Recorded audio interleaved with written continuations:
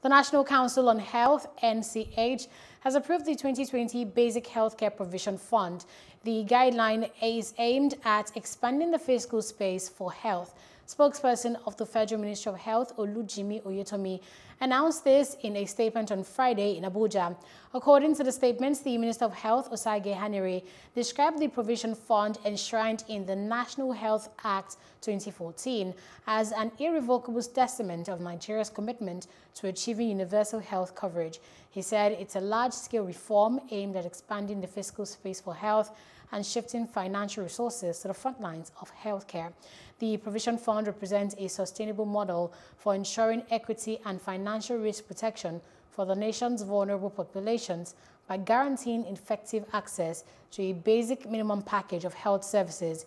It is funded from not less than 1% of the Consolidated Revenue Fund, financial grants from local and international donor partners, the private sector, and philanthropic individuals.